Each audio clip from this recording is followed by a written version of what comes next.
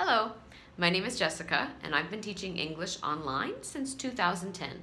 Most of my students focus on general English conversation where we go over various topics. Uh, I will point out mistakes with grammar, sentence structure, and also introduce new vocabulary.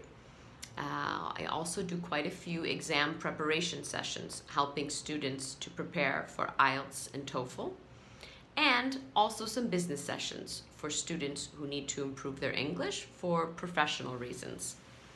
All of my sessions focus on active learning, doing what it is that you need to improve on. If you need to improve your speaking, you speak. If you need to improve your writing, you write. So it's kind of simple. Practice makes perfect. I'm a big believer in that. Um, so if you have any questions for me about my sessions, about me as a teacher, anything at all, feel free to contact me. And I hope we can work it out and get you set up for uh, some online sessions. Take care.